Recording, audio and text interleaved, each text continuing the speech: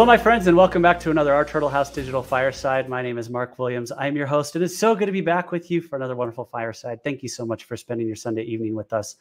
We've got some fantastic speakers I'll introduce in just a few minutes, but before we get to that, in case you haven't yet, go to turtle.link slash app and download the Our Turtle House app. It's a wonderful place with tons of resources from some of your favorite Latter day Saint speakers like John Bytheway, Hank Smith, Carmen Herbert, Meg Johnson, myself, and so many more. So go check that out at turtle.link slash app. And you also can go get tickets for our Laughing All the Way conferences at ourturtlehouse.com slash events. We've got so many this year, seven different events in Woods Cross, Cedar City, Twin Falls, Boise, Idaho Falls, Ogden, and Provo. There's so many. So we'd hope to see you live at one of our upcoming events later this year in, in December. It's going to be it's going to be fun. You're going to laugh. You're going to cry, mostly crying because you're laughing so hard, hopefully. but it's going to be a lot of fun. So hope to see you there. And with that, let's go ahead and introduce our speakers tonight. Tonight's fireside is all about hope. And how do we find hope, especially when there's so much turmoil in the world and things that go wrong, especially the things that go wrong that we weren't expecting to go wrong. And then part of that's just life, but you know is it possible to experience hope when you're when you're experience when you're experiencing you know setbacks or you feel like you're in a fog or a mist of darkness or or or whatever the situation is? How do we find more hope in our life?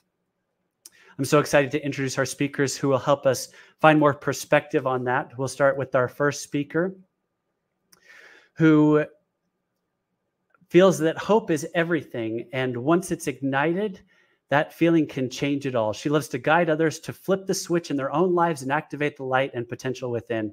She's been married for almost 23 years to her best friend, and she's a mom of three kids. And she chooses to use her experiences and challenges to help other, get, others navigate their own. She loves to work with the youth of the church and has traveled to give girls' camp firesides and has spoken to hundreds of men and women about the power of hope. Let's wel- welcome Lindsey Broschinsky. Lindsey, so good to have you here with us. Hi, so good to be here. Thank you for having me. Oh, it's so it's good to have you here, and we're excited to get to know you a little bit better and hear more about your experiences with hope, and uh, and learn from you. We'll introduce our next speaker as well. Our next speaker was born in Las Vegas, Nevada, and raised in St. George, Utah. She's the middle of five children and has been in recovery from addiction for nine and a half years. She spent those years helping those who are still struggling as well. She works as a senior account executive, executive for a software company in the addiction recovery space. And most importantly, is a mother to two beautiful children, Jane and Calvin. She loves running half marathons, riding bikes, and being outside in St. George in the St. George sunshine.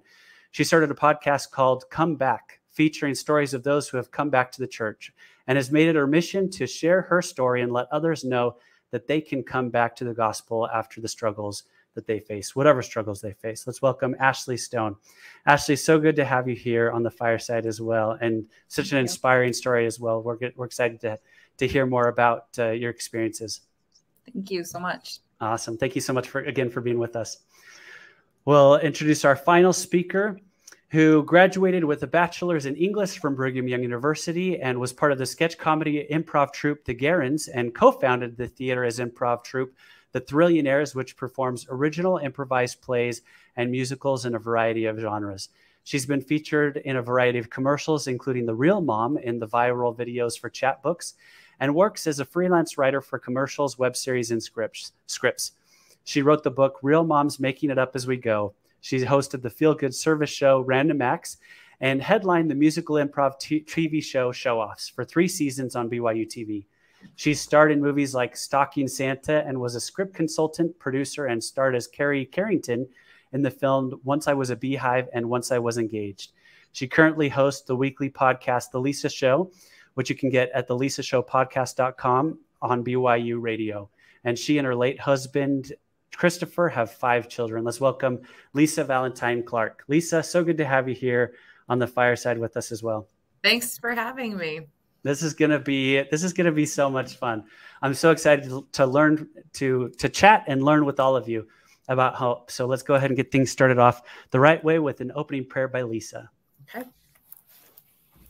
Our kind Heavenly Father, we're grateful for the opportunity that we have to be together through technology, and we're grateful for um, the messages that have been prepared. We ask you to please enlighten us and help us to learn things that are needed for us individually and our families, and to retain that knowledge. Help us to be able to feel Thy Spirit um, as we study and as we learn together. And we say these things in the name of Jesus Christ. Amen.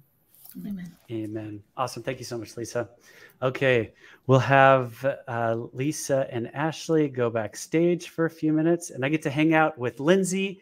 Lindsey, it's so good to have you here. And just a quick little question for you: How how do you live? I understand that you that what a oh, way no. to start. How do you live, Lindsey? No, just kidding. I think pretty pretty pretty well. That's good. That's good. No, I uh, just I can appreciate. I hear I hear that you that your phone is at one percent more often than it is not at one percent, and so how how does that work? Is are you just hoping like How do you hoping, live? I'm hoping that I'll be all right wherever I go and be able to take the calls. I love it. I love it. I I feel you there. I feel like I'm always I'm always running on low power mode, so I yeah. save that extra little bit of juice. So yeah, I've, I've things are plugged in right now. We should be good to go. You and me both. You and me both. I love it. Well, Lindsey, thank you so much again for being here on the fireside with us. And we're so excited to hear more about your story and your thoughts about hope. So go ahead and take it away, my friend. Absolutely. Thank you so much for having me. Um, I feel so lucky and blessed and honored to be here. Um, something a little bit about me. Um, my mom is an avid stargazer. And so it wouldn't be abnormal throughout my life to find us on rafts, in our pool while she pointed out all the constellations or wake us up in the dead middle of the night to drive us somewhere in the deep Texas woods because she heard Halley's Comet was coming by. Um, for as long as I can remember on her bucket list, it was to see the Northern Lights. And I can't even tell you the amount of times throughout my life I've got a text message or a YouTube video sent to me with this simple phrase, I need to see these exclamation mark. And so two kind of I don't know if they're weird things about me, but two things that I do pretty regularly. I don't know if anyone else does them. I check the Disney wait times for the rides. I think every day. I don't know why. I feel like I'm missing out of something. And I also check travel flights to go somewhere because I love traveling. And this particular day in 2019, it came in super handy because I found a screaming deal to go to Norway that would allow us to go at a time of year when I knew that we could see these northern lights. So when you find these screaming deals, you have to jump on that really quick. And so I talked to my husband, he was on board, and we decided to call my mom and see if she would be on board. And I don't even think I got the sentence out, or if I did, it was two seconds later. She just said yes. And um, that's my mom in a nutshell. She's the fun bus. And so uh, off we went to Norway, like I want to say six weeks later. And um, we booked these two tours for our first couple of nights. We were going to have three nights up in the northernmost part. And so we decided we would try two nights to see the northern lights and these tours we booked were kind of plushy um, they supplied us with these super warm suits and um, they they gave us hot soup and they made us hot cocoa and all this yummy stuff. And um, it was really really fun. But the first night we really didn't see any lights and we got back around three or four in the morning and uh, we actually slept through the only amount of daylight that was available that day. And so the next night we went back out again and we had a ton of fun. We met friends from all over the world. I think at one time my mom actually we got so bored standing there for hours that we started teaching each other songs and my mom put her headlamp on like Rudolph and we taught them Rudolph the Red-Nosed Reindeer. I don't know, but we were having a ton of fun making friends, but we did not see any lights. And um, they kept showing us through their camera, like, no, they're there. The lights are there. Um, you just have to look through um, and see them. And I'm thinking in my head, oh my gosh, we've just traveled all the way across the world. And all these pictures we've seen are not actually real. Um, it's just because the camera picks it up. And uh, we went back that night, and we, none of us really, I think, dared to say that we were disappointed. It, but until the next morning at breakfast, and we started talking, and we're like, we have to do one more tour. We've got to get out there one more time. But we're kind of running low on money because we did these plushier tours. And so we decided just to do a big bus tour with a lot of people. And it was bumpier and crowded. And it's a little scarier to let someone take you out into the dark uh, middle of nowhere, the literal definition of the middle of nowhere into Finland um, in the middle of the night. But I remember they opened the bus doors and all of a sudden, we realized we had to trudge through snow that was up to our knees and go into this clearing with my mom that's in her mid 70s. Um, there was no chairs. There was um, this tiny fire um, that they built that all 40 of us rotated around to keep warm. And we were there for hours. And they're telling us, they're coming. We're not moving. We're going to stay here. And so we're like, okay.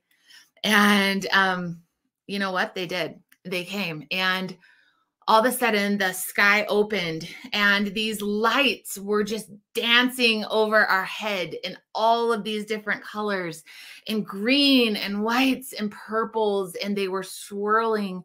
And as we looked up at the sky i just felt tears falling down my face and i'll never forget looking at my mom because she was truly in awe and the wonder on her face and i was just so excited for her and it's a memory I'll have in my heart forever. Um and so I read this quote once and I don't remember where I read it, but it said, Hope itself is like a star, not to be seen in the sunshine of prosperity and can only be discovered in the night of, ad- of adversity. Hope can be like a star, and often we can only see its light when we're suffering. And I've spent the last decade or so really diving into what I didn't really understand at the time was the word hope.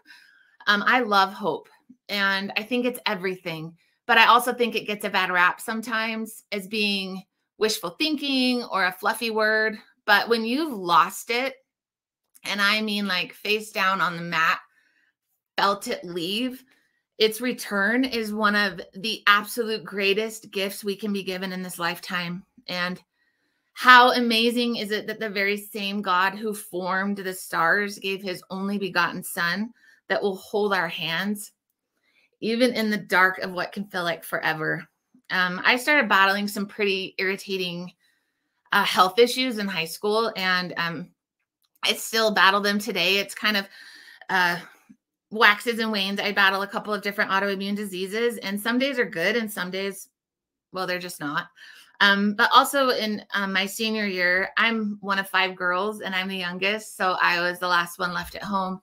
And it was in the fall of my senior year that um, my parents called me in and we just started talking and chatting. And then they, they informed me that they had made the decision to no longer go to church.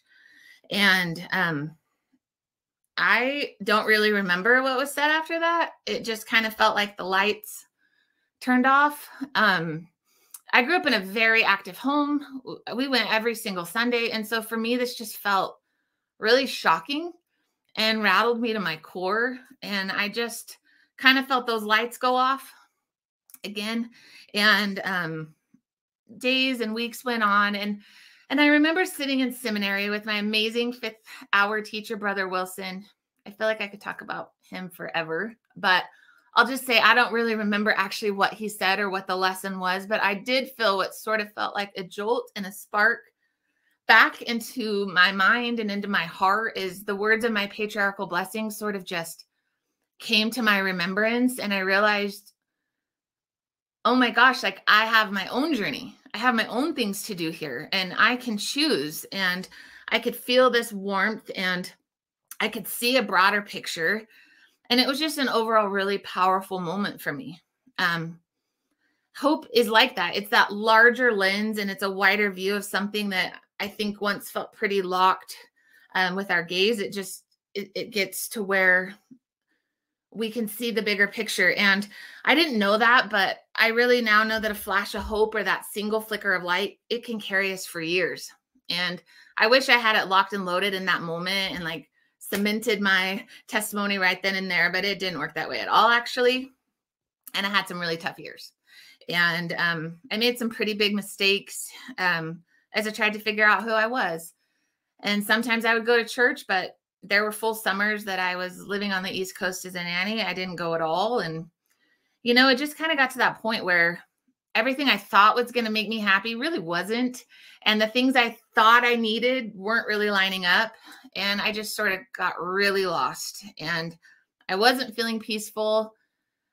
And I remember kind of just missing that tangible piece in my life. And there was one day in my um, apartment, I walked by the bathroom mirror and I just kind of caught my own reflection. And as I looked at myself, I suddenly could remember that last time I felt really, really clear. And I went back to that thread of hope from that day in seminary. And there's really so much power in those moments and in our minds, if only, you know, we can remember. And I decided just to step back into church um, with better intent and pray and read my scriptures to start there was a significant day in college where I rode my bike up to the St. George Temple and I just sat there on the bench. And uh, what happened was really sacred to me, but I had a really pleading prayer and begging, uh, really to feel that hope back in my life. And um, I was able to get a lot of clarity, and uh, it really cemented my foundation for what which then I could build on that. And and then and now it's more about what I, you know, because faith sort of comes after hope. And so it's just the faith that Heavenly Father would deliver his promises. And and he really has.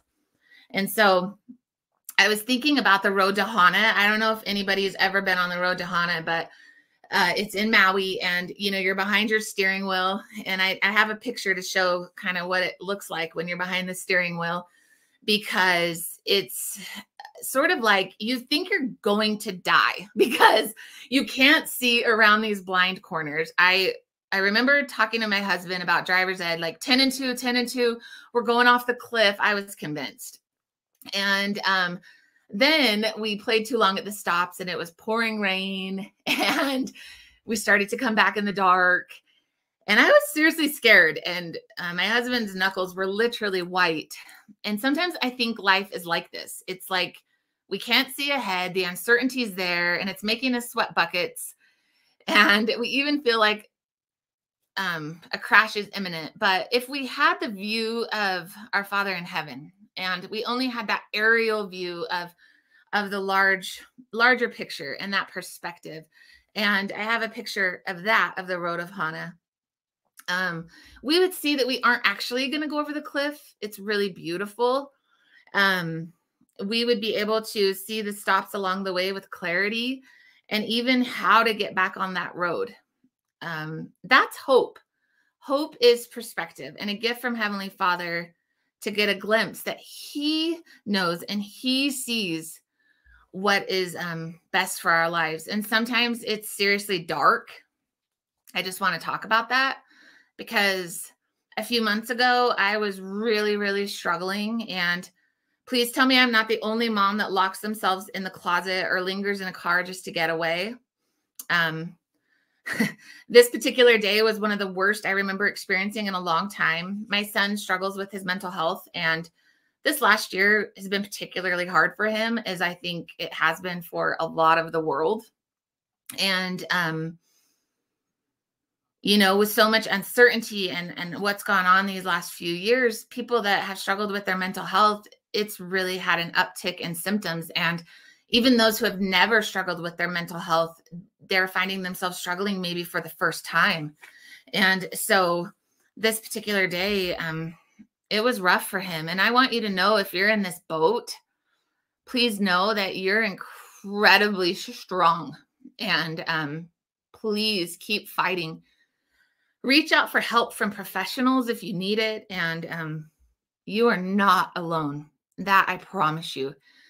And uh, that night, I kind of felt like my hands were tied because he's living across the ocean in Hawaii, um, attending BYU over there, and everything felt hopeless to me.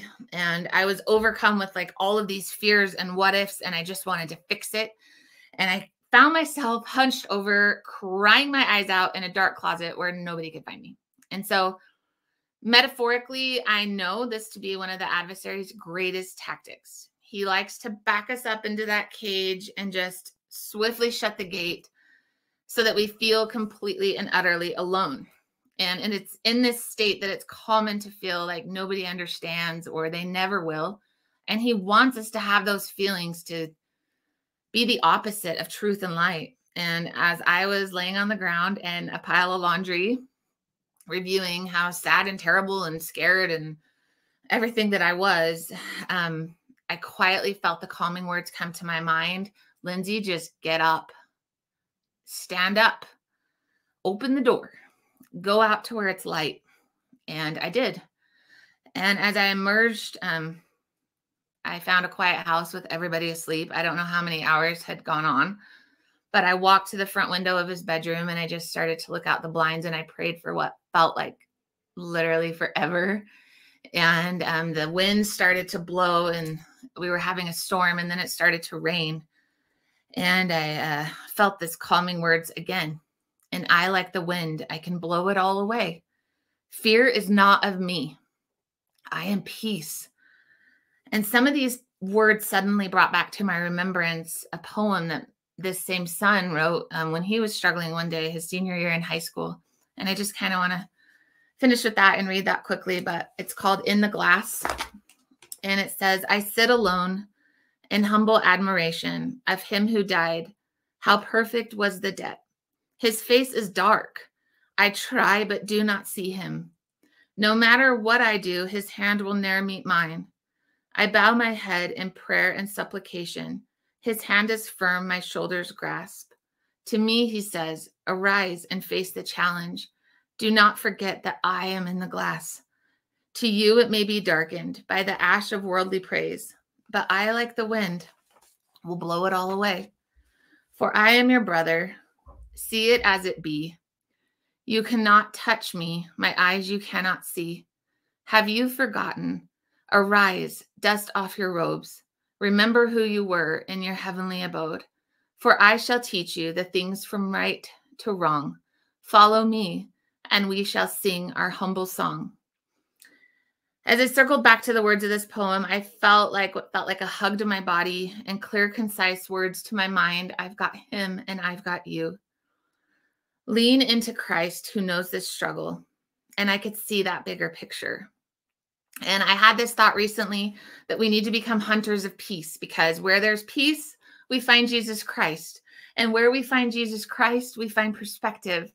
And where there's perspective, there's hope. And um, as we come to know him, we'll come to know ourselves. And as we go towards his light, we can truly receive all that he has to offer. We can literally pick up that grace and that comfort and that love.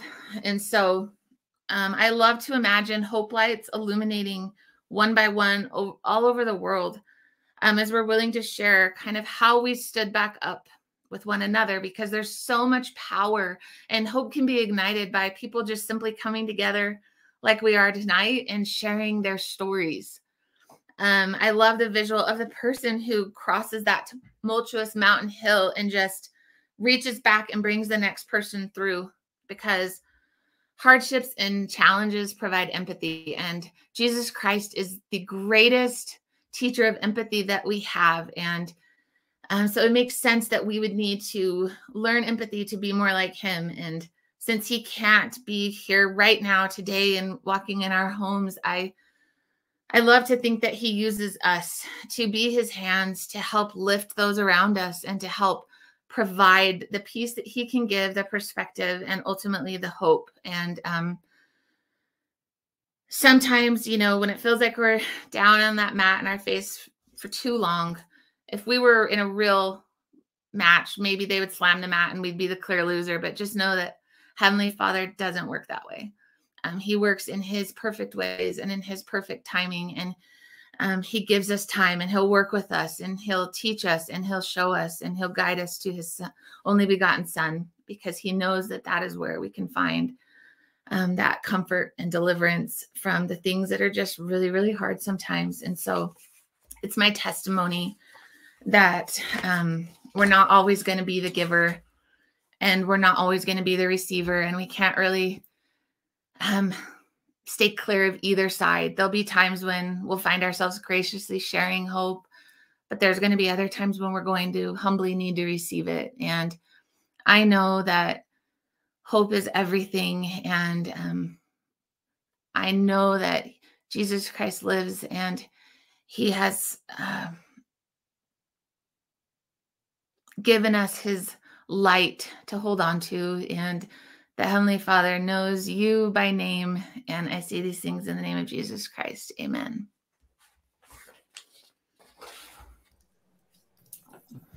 Amen. Lindsey, I loved your thoughts there and the visual that you shared of the road to Hana. It, I thought that's such a powerful visual, especially when you're when we're going through life and the twists and turns. And the thought that come, comes came to mind when you were describing how you can't see ahead that with all those twists and turns, sometimes it's easy to get just like even car sick. yeah. You know, you're you're you're sick, mm-hmm. physically sick of all the the twists and turns, and and you. Uh, I, I think of the one time I was on the road to Hana, and we we gave up halfway through mm-hmm. because it, you know. So I never got to the black sand beach. I never got to see the the reward at the end of all the twists and turns, but. Uh, because we were just we were sick of of the of the drive and and it in terms of of what you shared i think that that like sometimes when you're in those moments that you uh, you want to give up you feel, you're not feeling the hope like what like what you shared that it's those times where where you just got to keep you just got to keep going so because there's there's that end that goal that that uh, the the black sand beach and all the beautiful things that are that uh, Heavenly Father has waiting for us if we just keep keep going. Thank you so much. That was so powerful. You're welcome. Thank you for sharing that. I love that perspective.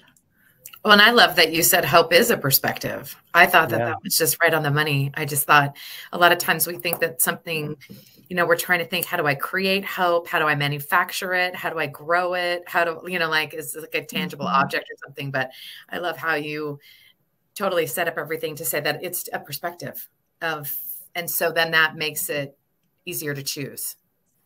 And it's a doable action. I love that. Thank you. I, love, that. Cool. Sweet. Well, Lindsey, thank you so much again for being here on the fireside and for sharing your thoughts and your perspective and your testimony on on how we can increase the hope in our lives. Thank you so much again. Absolutely. Thank you for having me. You bet. We'll move to our next speaker of the evening, Ashly. So good to have you here with us here on the fireside and I'm so excited to get to to know you a little bit better. You, uh, you, you're living in St. George now. Is that correct? No, I'm from St. George. Oh, you're from St. George. Live, yeah, I live in Bountiful. Um, oh, okay, cool. Yeah, so Sweet. but I am from St. George. That's awesome. and and uh, so so St. George is home. I I every time I drive through St. George, going to Vegas or you know down to visit some friends down there, I just I I love it down there. It's just the I I assume that uh, it holds a special place in your heart from from where you grew up, right? Yeah, it does. And my parents still live there, and my siblings live there, and so it's our getaway place. And I love uh, it. Yeah, so we love it. I love it. I I'm sorry to put you on the spot a little bit, but what's your what's one of your favorite things? Uh, maybe a maybe a hidden gem about St. George that most people who aren't from there don't realize or know about or yeah. Well, I'll tell you what my favorite thing is. There is a trail that goes from like Diamond Valley um, down to like it's on the side of the road. If you if you're driving to Diamond Valley or Winchester Hills, you'll see this paved trail And it is my favorite place to run. It's exactly seven miles from Chuckawalla to um, the top of Snow Canyon. And I, it's just this peaceful beautiful run and i i love it so if you have like e-bikes or if you're a runner um i 10 out of 10 recommend that trail. It's awesome. That sounds amazing. Okay i'm definitely gonna have to go check that out next time i'm down there. That sounds yeah, so good. I, i've probably ran that trail probably 75 times. So oh, that's perfect well then you know that it's good. Yeah sure. i love it. Well Ashly thank you so much again for being here with us. I'm so excited to hear more about your story and your perspective on on increasing the hope or experiencing more hope in our life. So go ahead and take it away, my friend. Awesome. Okay, so I um I have kind of a crazy story and um my perspective on hope has really been it's been shaped by an experience that I had um when I was younger, I was active in the church as a kid. My family, I was raised in the church. Um, you know, I was a, a good kid. Like my, uh, I never got in trouble. Like elementary school, I got in trouble one time and it was for balancing something on my head and it's like scarred me for life because I was just such a good kid. I never I never got in trouble or anything and um and then as time went on, I went into middle school and I started to feel just really insecure, all the things that middle schoolers feel. Um, and I started to hang out with some friends that were doing, you know, things that were kind of against my standards. Um, but I was in a place where I didn't really, I hadn't really made the choice um, beforehand to stay away from this stuff. Like I, I had been taught in church and by my parents, but it just, um, I was kind of just really vulnerable at the time. And so, um, I was in summer after eighth grade. I was hanging out at my friend's house, and um, one of the cool kids from the basketball team at the high school was, um, they were smoking marijuana, and I decided to give it a try. And so after that, it was just kind of a, a can of worms. I um, tried alcohol for the first time, and it was like I had this feeling of confidence for the first time in my life, and I um, got I started chasing after that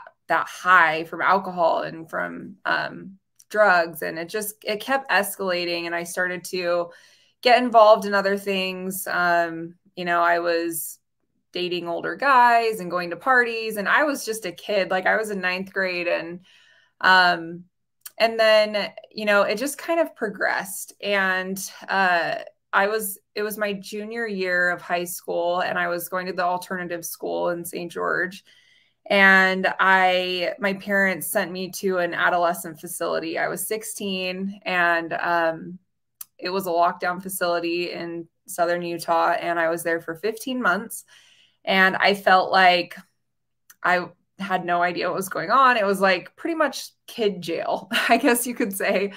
And um, yeah, I was at that program and it it was I think it was overall a good experience for me. I think it kept me safe and um it was scary, but I I got through it and um and then I graduated from that program and I, I just didn't really do the healing inside that I needed to do. And I was still really young and just, to be frank, kind of stupid.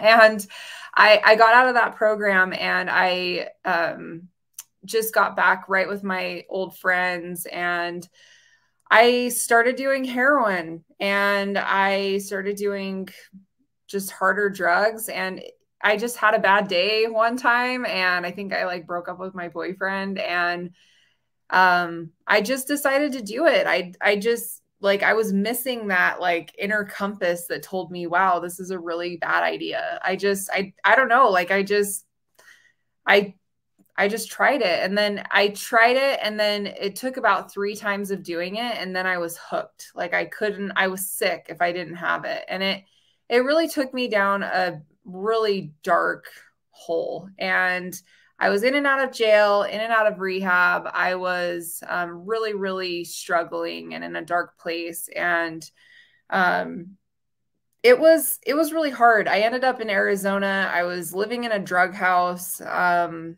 pretty much as dark of place as you can get, and um, I during all of this time, my dad was somebody that was a really big support for me. So keep in mind, my brother was on a mission during this time. My my dad and my mom were going to church, very, you know, righteous church members, and they just didn't really know what to do with me. I was they they were kind of planning on me dying, to be honest. And um and I thought I was going to die. I couldn't see how I could make it out. Like I was in this really dark, scary place and um and so but my dad, he never gave up on me. I think my mom, she had other little kids at home and she kind of had to just kind of lock her heart. Um she had to like I was just causing so much pain for the family that she kind of had to separate herself from me, which I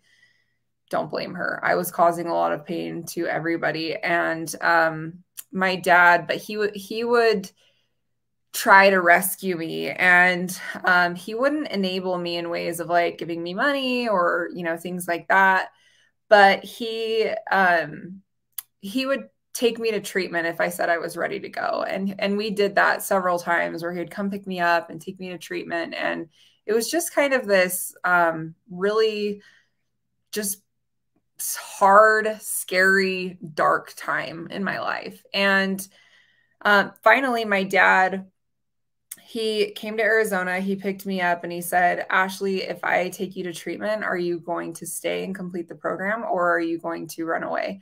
And it was in that moment that I just felt like, like I couldn't do it anymore. Like I was so uh, just sick and tired of being sick and tired and I put my seatbelt on and I was like, hey, dad, let's go.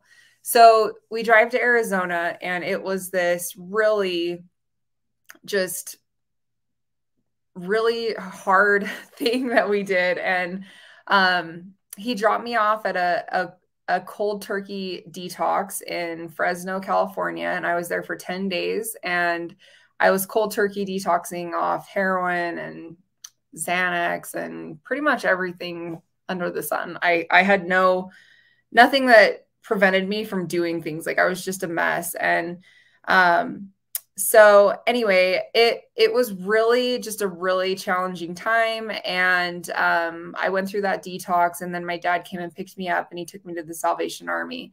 And I was at the Salvation Army for 6 months and when I first got to the program, I kind of felt like you know, I don't know if I can do this. This is so hard. Um I just didn't feel, I didn't know if I had it in me to complete the program. And the preacher, he brings me, because the Salvation Army is a, a Christian based program, and he brings me into his office and he's like, okay, Ashly, choose a Bible to use while you're here. So I pick the pink Bible on the shelf and I open up this Bible, and there's a Book of Mormon bookmark in the Bible.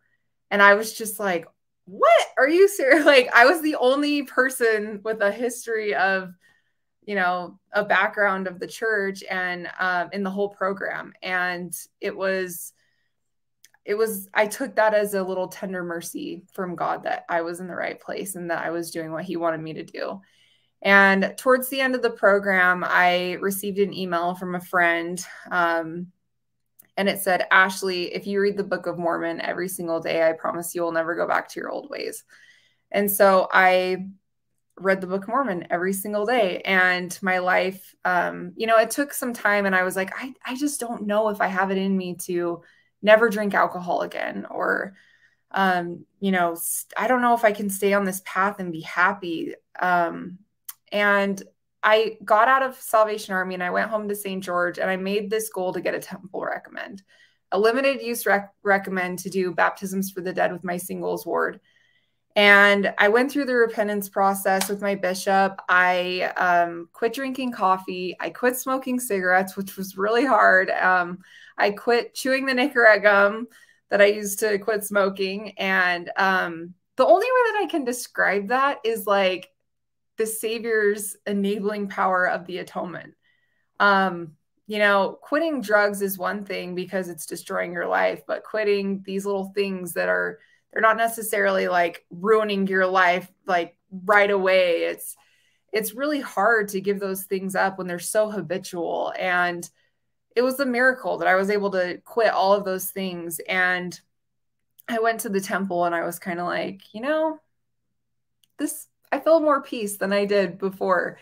And so I just kept going with it, and I I experienced a true change of heart. And um, in the Book of Mormon, um, Alma the Younger, I can relate to his story so much because when I'm sharing this story with you, it's like I can't even relate to this person that I was when I was going through this stuff because um, I've truly experienced a change of heart and um, and going back to church is what saved my life and the savior's atoning sacrifice saved my life. And i i feel like it's such a miracle. Um you know i i ended up meeting my husband who has a very similar story to me. Um we actually met at a church 12 step meeting when i was 18 and we didn't um connect until like reconnect until 5 years later. And um it was just really orchestrated by God and um, just a really awesome miracle. And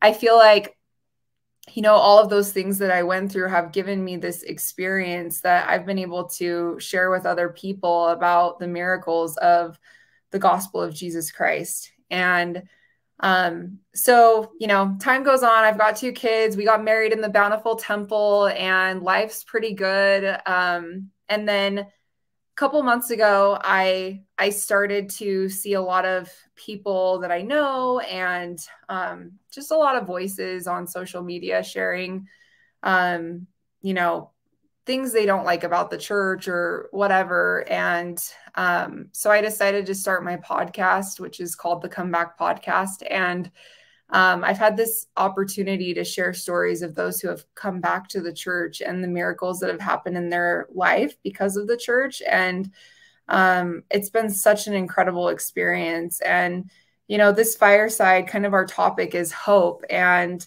um, I think, in my experience, God is the source of true hope. And, um, I think that Lindsey, when she was sharing about, you know, being at the bottom and your face is against the mat and you're in darkness. And um, I went through that. And I, you know, the only thing that I had at the time was relying on my Heavenly Father to give me some kind of peace and hope that I would make it through that. And, um, you know, I trusted that. I trusted, you know, if I if I experiment on this and see what happens, if I if I get my temple recommend and go back to church, like, you know, I'm going to see what happens if I do this. I'm going to trust him. And, um, and my life has completely transformed and changed. And I'm so incredibly grateful for the Savior and his atoning sacrifice so that I can have the amazing life that I have today. And I know that it's all because of him. And I, um, you know, based on my past, I it's nothing short of a miracle. I don't know if I deserve everything that I have. I um I'm so grateful and I'm just so grateful that um you know, I had my heavenly father to help me through that really dark time in my life and I'm grateful for his forgiveness and um I think that we um there's always hope.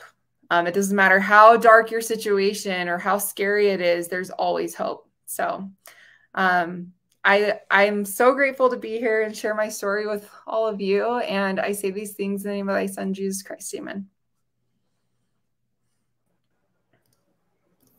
Amen. Ashly, that was so powerful. Thank you so much for sharing your your such a personal such personal experiences you know that you've gone through throughout your life a question that i wanted to ask you and you, you kind of touched on this a little bit but but uh, knowing what you know now and uh, through, through the transformation that you you've had and the experiences that you've had in in coming back and and or whether it's from reading the Book of Mormon or, or whatever this whatever it is that's that uh, has gotten you to this point. Knowing what you know now, if if you were talking to younger Ashly or somebody who just is struggling and feeling like there's no hope and they're just not sure where to even start? You know, what what advice would you give to them to help them find the hope that they feel like they're lacking?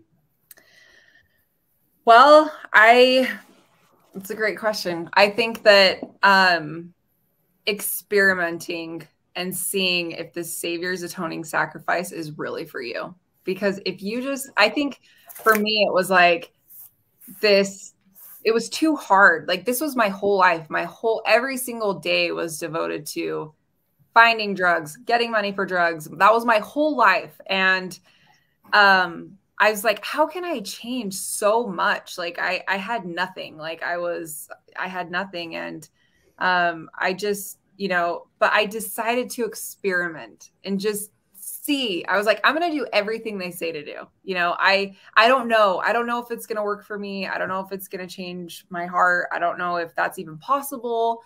And but i just decided like i'm just going to give it a try and experiment. And I, I didn't leave any boxes unchecked. Like I, I went all in. I was like i'm going to give this you know a couple months. I'm going to get my limited use temple recommend and i'm just going to um, see what happens. And you know, I I did everything my bishop asked me to do, and the change of heart I experienced was so dramatic that, and it wasn't like a overnight thing. Like it was over, you know, it took some time, but um, like I look at my life today, and then I look at my life ten years ago, and there's just no denying the power of God. And so my advice would be experiment and you know do what it takes and and god will pull through and he will show up for you.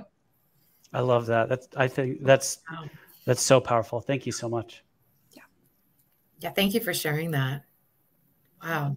It's a powerful story. Thank you. And Ashly, I love what you said about I can't imagine um, how dark some of those days were. And I just think you're incredibly brave and vulnerable to share that story. And it's just a testament that i i know that through our pain and through the darkest moments that the heavenly father can turn that and repurpose it into tangible hope for other people. And that's what you are doing. And i just i just know you're blessing so many lives.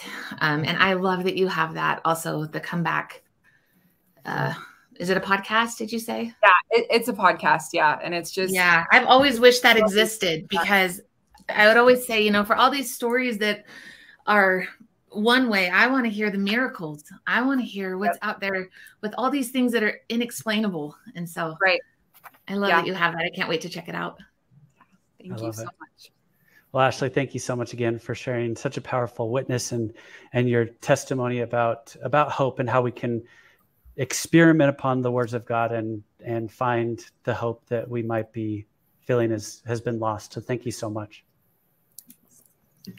We'll move to our final speaker of the evening. Lisa, so good to have you back. It's been a it's been a hot second, couple yeah. couple years almost, I guess, since yeah. uh, since you're on the the fireside, and just just uh, always love being with you and and learning from you, and and uh, I I have to say, just as a side note, when the Chatbooks commercial came out, the first Chatbooks, I I sent that around to all my friends. I just was like, this lady is so funny. I love it. so, Thank you. So it's so fun to do. I can only imagine. I can only imagine. So love it. Well, Lisa, thank you so much again for being with us. Go ahead and take it away, my friend. You bet. Okay, so I, uh, you know, first take some things like very literally. So I thought I would take hope very literally. And I want to start off with a poem that I love that um, is quoted in our home a lot. I, I think about it all the time and we do it. Um, it's by Emily Dickinson and it's called Hope is the Thing with Feathers. Hope is the thing with feathers that perches in the soul and sings the tune without the words and never stops at all. And sweetest in the gale is heard, and sore must be the storm that could abash the little bird that kept so many warm. I've heard it in the chilliest land and on the strangest sea, yet never in extremity it asked a crumb of me. I love the theme of that poem so much that hope resides in all of us. It can really reside in the hearts of the good. And it really can liberate us from despair and gives us strength to move forward. It empowers us. And then it never asks anything of us. And I really, really love that. Um, yeah, there's a lot of definitions of hope. And the one that has been most meaningful to me has been the secondary meaning of hope. So the first meaning of hope is I think how we use it just in common language, you know, it's just a feeling, an expectation, a desire that something's going to happen. What, you know, I hope I get into college. I hope I get that part. I hope you recover well from your surgery, whatever it is, we have this expectation, and that's where our hope lies. But the secondary meaning of the word hope is a feeling of trust. And it's kind of an archaic um, meaning, but I like it more. and I'll tell you why. Um, we all want certain things to happen and we all have certain expectations uh, I we're even commanded to have righteous desires, right? Like it's not even a bad thing. Um, you know, we're told to like keep our you know expectations you know down and and don't have very many expectations because that'll be like the way to heartache or whatever. But um, it's a righteous thing to to work for and want and hope for good things for ourselves and and that desire that yearning or longing or pipe dream or whatever is part of the human experience but what if those things that you hope for don't happen then what? What if uh, hope was just a feeling of trust?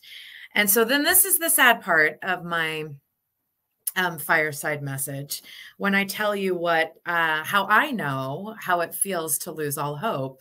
Um, I had no hope.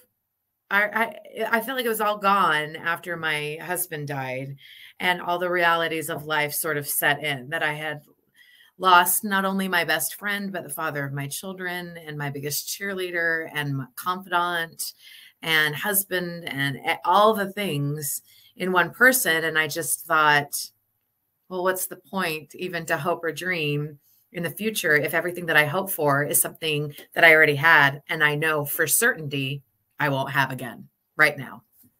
I had righteous good desires. I went and planned for them. And, and, even more than that, I sacrificed for these hopes and these dreams, sweat and tears and blood for the for these hopes and dreams.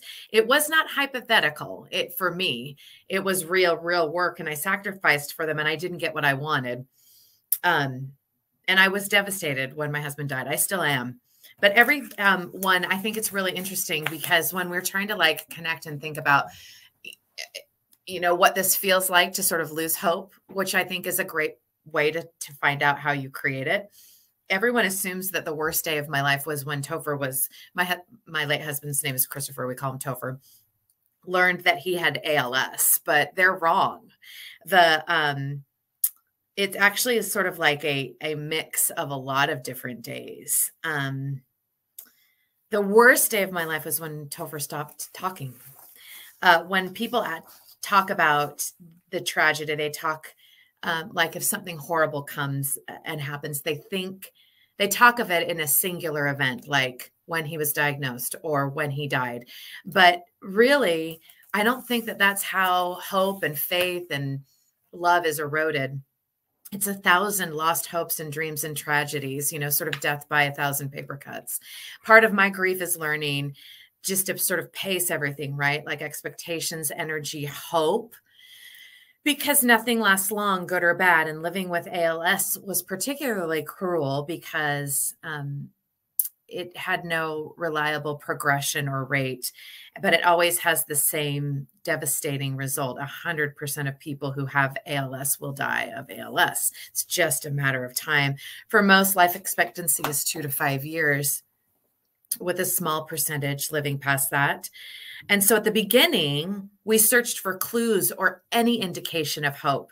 We would soothe ourselves like with sort of this anecdotal evidence of of people that like, oh, this is good. It started in his legs. So that means it'll be it, it could mean that it's slower progression or we just look for hope anywhere, whether it was scientifically um reasonable or not we could look on the positive side because we hadn't been proven wrong yet. So we adjusted. I remember when Christopher was first diagnosed, he um, his legs were very weak, and so he used a cane. And we were like, "Oh, a cane! We can buy all these cool canes. This will be awesome! Like we'll get really into canes." Um, and they make him look distinguished. They're kind of cool. They can go with his outfits. Like we we had hope that this was going to be hard, but we could do it. But we it didn't last long because after he started tripping and really um, falling one too many times, it transitioned to a wheelchair, and that was a bigger pill to swallow. And it was harder, and it made major life adjustments to the way that we lived. And it made me become particularly aware of the lack of handicapped accommodations in our country. Don't get me started. And, but then I thought, okay, we can do this. We can adjust our home and we can get a, a handicapped accessible van and we can, these are hard things. Um, we can get ramps and redo our house so that he can fit like this. We could live like this forever. As still as, as long as you can still talk or type on your computer or play the piano, like who cares? Big deal. You're just in a wheelchair. And we could still have hope and we still managed it. We can live like this. And then there was the day where um, he rolled up to the piano and closed it and said, of My piano playing days are over. And I was like, What? You can still play. What are you talking about? And his hands and his fingers progressed faster than his legs did. And he was fine with it. He thought, I'm just going to focus on all the things that I can still do. I can still teach, I can still direct, I can still be with my family and hang out. Like, this is fine. But for me, it was the beginning of, oh, we're not in control of any of this. And I'm going to be constantly saying, oh, we can live like this. No, we can live like this until it gets worse and worse and worse. Um, for a long time, we were so young and still full of energy and hope. And that got us through a lot of hard times. We adjusted. Um, but that was a sobering thought because I knew I wasn't in control watching Christopher, the best person I knew, my favorite person, suffer slowly and lose the ability to move and to speak killed a lot of hopes and dreams one by one for the future. New ones, it seemed every day. And when he died, that's when I realized well, that hope seemed to be gone. And so I lived in this really weird place for months knowing and feeling the blessings of God and seeing evidence of miracles and blessings, but not feeling hope in my heart for any kind of happy future. And I, I thought, and I even wrote, like, I have no hope for the first time in my life. So, something that I learned about hope um, which seemed really depressing and desperate at the time. I guess it still does. Is um, when I didn't have any hope, I thought, well, I'll just borrow some. And that's what I did. I said things like, I'll never be happy again. I'll never laugh. I don't dream. I don't know what to ask God for now. I just don't care. And my sister Gina and some good friends, Haley and Casey and Wendy, my brother Chris said, okay, okay. And they said, You'll be okay. You're going to be happy and laugh, but it's okay if you don't feel like that now. You're meant to feel happy and you will, but you'll probably always be sad too at the same time. They laughed and dreamed for me and they sat with me. And because I trusted them so much, I believed them and I was able to borrow hope from them. So the second meaning of hope is where it start of, of learning what it is to to trust and what that means started to grab hold. So I love the scripture in Proverbs that says, Trust in the Lord with all thine heart and lean not unto thine own understanding. In all thy ways, acknowledge him, and he shall direct thy paths. For me, that became a formula for how I borrow trust and then take hold of it in the second meaning so, what does it really mean to trust someone? Um, well, I think we all have a um, person in our lives that we trust more than anything, that you can tell your secrets to, that you can um, rely on when you don't trust your own opinion, and you you go to them when you have a hard time. And what was hard for me is is that I trusted Christopher more than anyone. Um, I also started thinking about what I do improvisational like theater. So I go on stage and nobody has a script, nobody knows what it's going to be about or what characters or and we create with the Thrillionaires um the uh, an entirely new play or musical or and song and we just make it all up. And the reason why and people are always like how do you do that? Aren't you so nervous? And it, it, obviously we've worked on it for 20 years we've been doing this together. But the reason why i don't get nervous when i go on stage anymore is because i trust who i perform with. I know that they're going to set me up um, to do the best job and i'm going to do the same thing for them and we're going to play and it's going to be fun. And that's the way the reason why we're able to do you know show offs or or uh, and we did a tv show that was completely improvised or we do plays and musicals it's because of the people you do it with. That's you know 90% of it. And then you add to it you do yes and. So you have this this this agreement that no matter what someone says to you you will affirm it and that you will add to it. So if someone comes on stage and says hey sister um it's mom and dad want us to go to the reunion. We got to leave right now you don't say, I'm not your sister. What are you talking about? And stop all the action. What you do is you say, Oh, okay, uh, let me go grab my shoes and I'll be on my way. You're accepting the reality and what they've given to you. And I realized that I needed to accept my reality once Christopher had died and add to it. And that the Lord expected me to add to it. And I could do that because the Lord had never left me, even when things got really, really hard near the end of Christopher's life. And um, during a global pandemic, while I'm trying to take care of him by myself and five kids and work full time, like it was ridiculous. But I always felt the Lord was with me, even though it was excruciatingly difficult. So I knew that I could trust the Lord.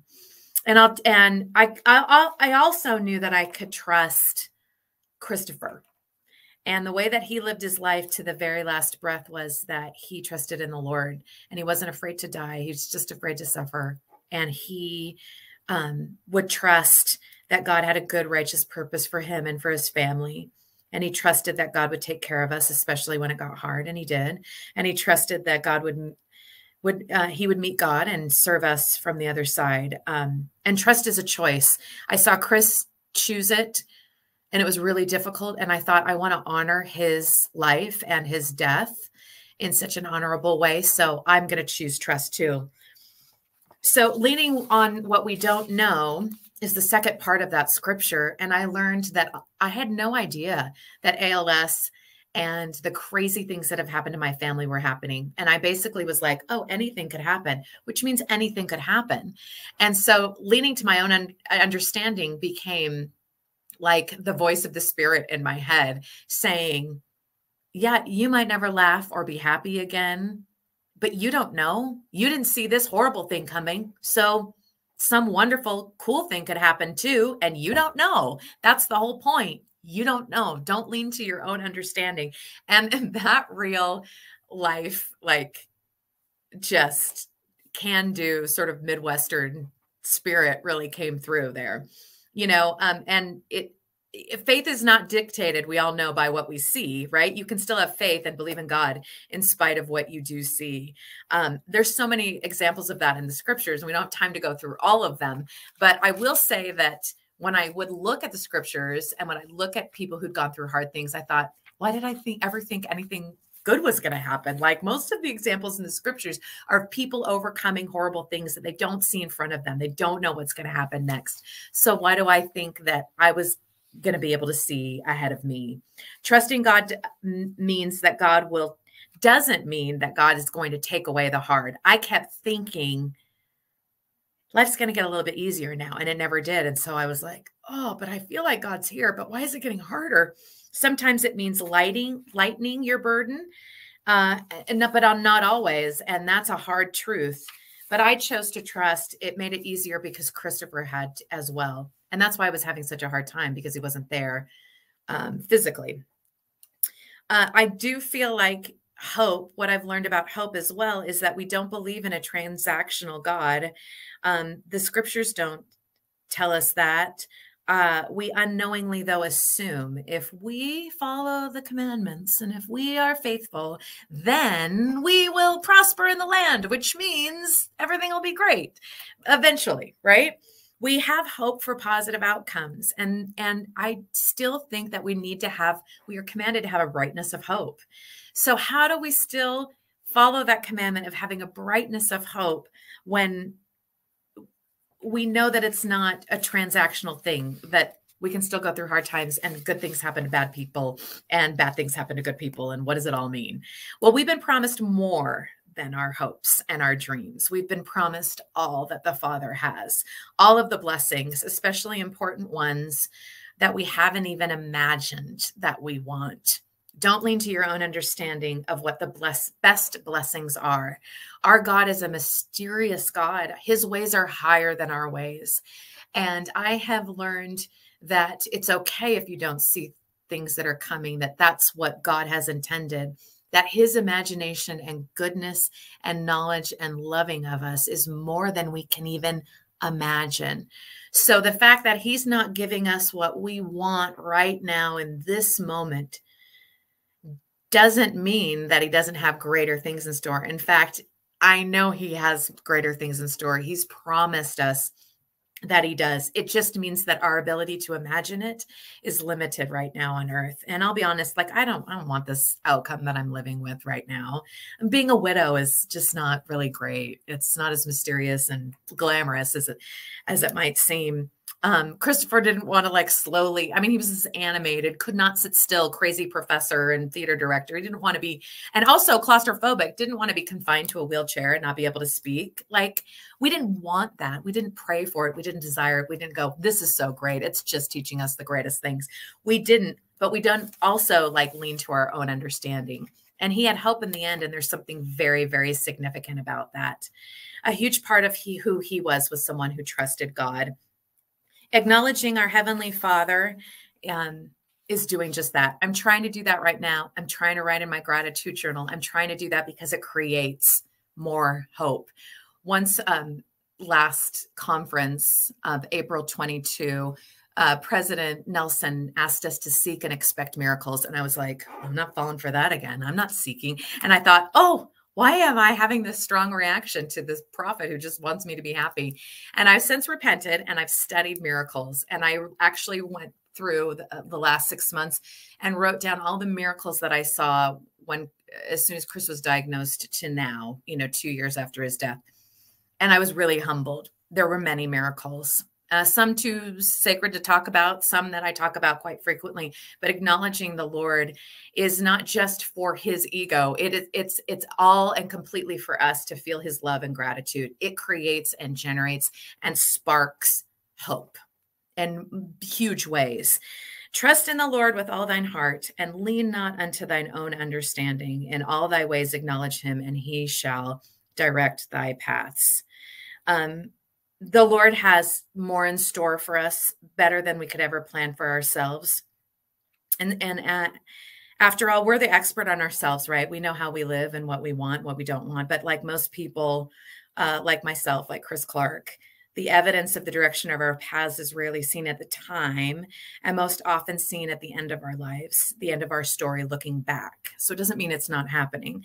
And I'm grateful that I got to witness an extraordinary life in Christopher Clark. It taught me the value of trusting in the Lord at our most desperate and the peace and joy that we can have even amid pain and grief and without it our story is is incomplete so my hope is that everyone will create and generate hope, even in your darkest times, by trusting in the Lord. That creates hope.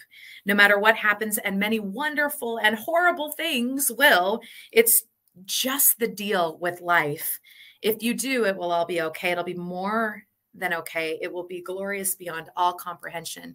And that is our promise from a loving Heavenly Father. And I say these things in the name of Jesus Christ. Amen.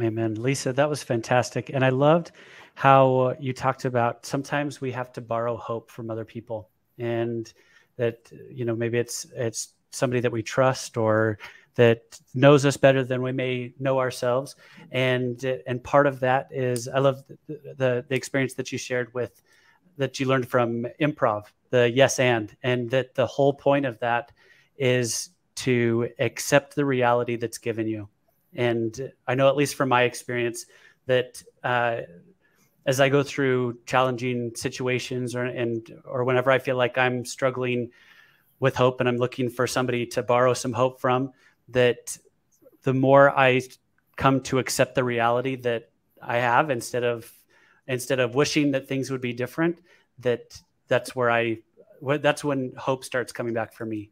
And so I loved I've I didn't even think about the that being an improv thing, but you're like it that took me back to my high school days. I love it. Well, I'll tell you, you know, and grief is tricky and it's not toxic positivity that I'm talking about, you know, because there's those days where you get in your bed and you pull the covers over and you go, yeah, I just no thank you. I'm out.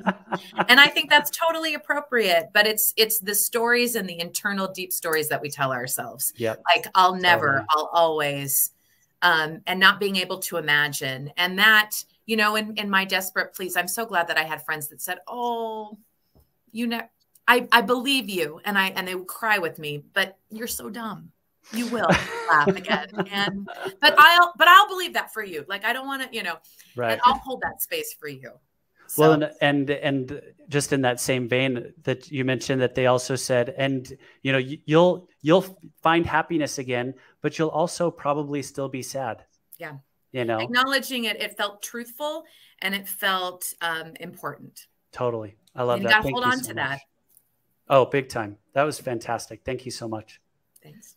One of the things that you said that I really loved was you said, you know, how do I know that something really awesome isn't going to happen? Because this, we don't know. You know, I I love that because I think a lot of times if something bad happens, it's like, well, what's next around the corner? What bad thing is going to happen next? And so to have that, you know, outlook of well, something really awesome could be around the corner.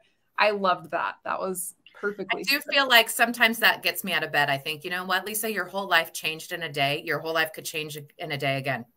Like, I love that. I love that. Okay, I love that too. I'm going to be thinking about that for a while. And it um, me out of a deep depression, like that thought. Sense. Like, you don't know. Yeah. It's like the yeah. spirit was giving me some tough love. Like, you don't know. You're not that smart. I feel like that needs to be on a sweatshirt somehow. Like I know. You don't know. I was like, right. I feel like I'm not smart. I feel like I should. You're okay. Yeah. I love what you said about um, trust is a choice. And as you watched your husband make that choice, and it just, I think that stuck out to me really a lot. Just thinking, okay, I'm going to trust like Topher. It kind of just put together like trust like Topher. And I just thought that's just such a really cool thing that to remember that we can decide to pick that up and believe and to trust that he's going to come through with his promises and that clarity and maybe the surprises that we don't know um, either way and i just love that. I'm going to be thinking about those two things for a while. So i was taking mad notes over here. So thank you for your wisdom today. I appreciate it. I stole it from chris but, but it was okay. I love it. Well, Lisa, thank you so much again for being with us and for sharing such a, a powerful witness and and your your personal experiences of seeking for hope and and finding finding hope when you felt like it was lost. That was so powerful. Thank you so much. Thanks. Well, this has been fantastic being with all three of you this evening and learning from each of you. Just like Lindsey, I've been taking a ton of notes, just trying to to keep up with all the things that I've learned from all three of you tonight. So thank you so much again for being with us. We'll finish with a closing prayer, and like we do most weeks, we'll hang out for a few extra minutes and get to know each other a little bit better, shoot the breeze, and so we'll go we'll go from there. Let's have a closing prayer by uh, by Lindsey. Okay. Our dear Heavenly Father, we are so grateful to be able to come together tonight to get to know one another and to hear each other's messages and we feel so blessed to be able to have been brought together and for the spirit that was felt and we say these things Jesus Christ. Amen.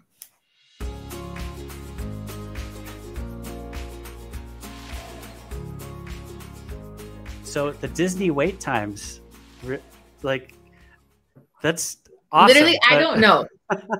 I don't know if this is normal. Does anyone else do this?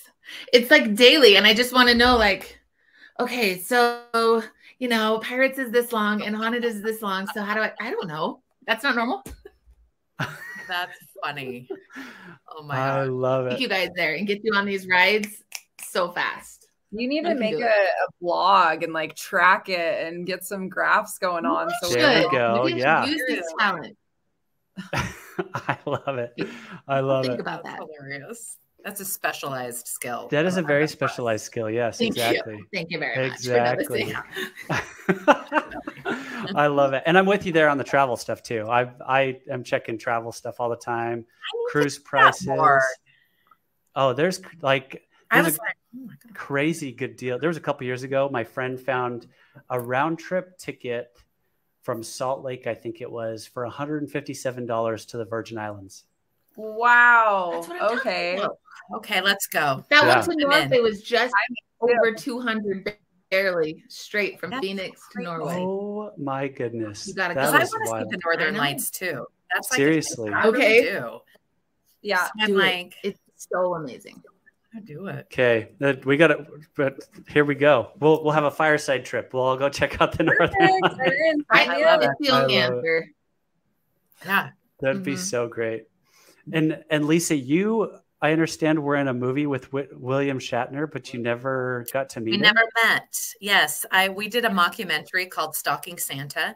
You'll want to check it out. You can see it on YouTube. It's in, in its entirety. Okay. Starred my late husband um, as Lloyd Darrow, who is proving or disproving the existence of Santa Claus, and William Shatner is the narrator. It's really really funny. It's become that is a is so cool. classic. So check it out.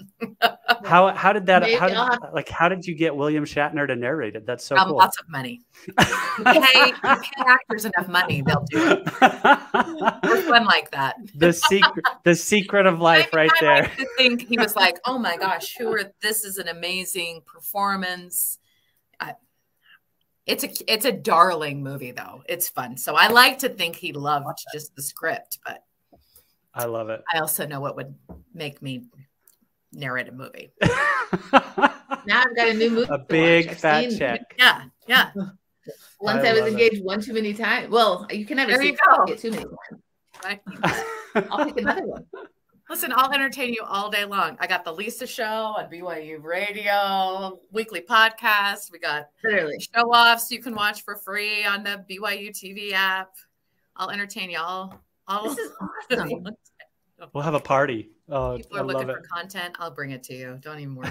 For free. I love it. I love it.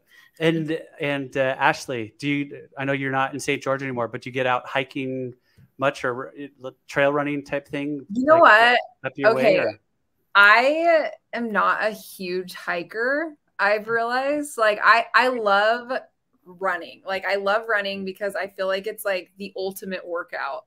Yeah. And like I go to the I go to F45, that's my gym and I I love it, but I feel like running it just n- nothing gets you like running. And I just ran a half marathon with my husband in Hawaii a couple weeks ago. Nice. He signed up to run this half marathon for my birthday and he hasn't ran since college. And he just goes in there and beats me. And I was just like, what? That's not fair. Oh, my my I God. know. That's how they do I it. know. Training. You're like, come on. I know. I know. So, but anyway, yeah, I like, yeah, not not as much. I like the beautiful views, but not as much into hiking as I am running. Trail running is where it's at. That's awesome. That's awesome. That's awesome. Well, y'all, thank you so much again for being here on the fireside. This has been so fun getting to know y'all better and hearing your stories and perspectives. And uh, just you guys are you guys are great. You're you're fantastic. So thank you so much for, for being with us again. Thanks for having us. We'll close Thank things uh, to all of you who are watching wherever you are throughout the world. Thanks so much for tuning in, and we'll see you next time for another fireside. Thanks so much, everybody.